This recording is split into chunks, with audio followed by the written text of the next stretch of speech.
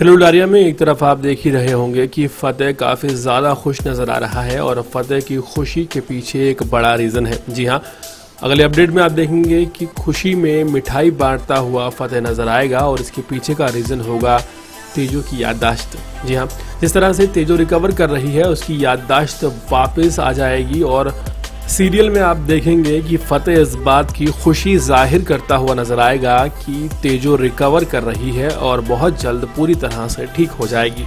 जी हाँ फतेह दरअसल सिंधु परिवार में पहुंचेगा और वहाँ मिठाई लेकर जाएगा। लेकिन वहाँ जिस तरह की भाषा का इस्तेमाल फतेह की माँ करके आई है, उसके बाद फतेह को ज़्यादा भाव घर वाले नहीं देंगे।